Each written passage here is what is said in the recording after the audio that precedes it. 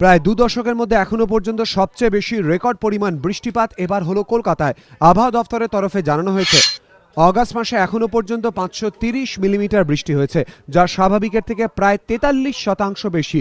এর আগে দু হাজার সাত সালে সর্বাধিক চারশো একাত্তর মিলিমিটার বৃষ্টি হয়েছিল।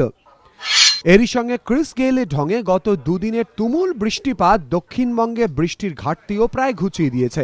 শুধুমাত্র মুর্শিদাবাদে এখনও প্রায় ছত্রিশ শতাংশ বৃষ্টির ঘাটতি রয়েছে। আবহাওয়া দফতরের তরফে জানানো হয়েছে, আগামী কয়েকদিন বিক্ষিপ্ত বৃষ্টির সম্ভাবনা রয়েছে। তবে রবিবারের পর থেকে ফের মৌসুমি অক্ষরেখা সক্রিয় হওয়ার ইঙ্গিত রয়েছে। বৃষ্টির ঘাটতি নিম্নচাপের ফলে অনেকটাই মিটে গিয়েছে সার্বিকভাবে দক্ষিণবঙ্গে কোনো ঘাটতি নেই। তবে এখনও মুর্শিদাবাদ জেলায় ঘাটতি রয়েছে ছত্রিশ শতাংশ। সবচেয়ে বেশি বৃষ্টি হয়েছে দক্ষিণবঙ্গের মধ্যে কলকাতায়। স্বাভাবিকের থেকে প্রায় দেড় গুণ বেশি মৌসুমি অক্ষরেখা রবিবার থেকে আবার আমাদের দিকটায় সক্রিয় হতে শুরু করবে।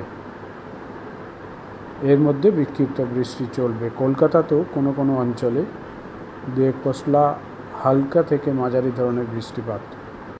উত্তরবঙ্গে এখনও পর্যন্ত প্রায় বারো শতাংশ বৃষ্টিপাতের ঘাটতি রয়েছে বলে জানিয়েছে আবহাওয়া অফিস। সঞ্চয়ন মিত্র এবিপি আনন্দ, কলকাতা।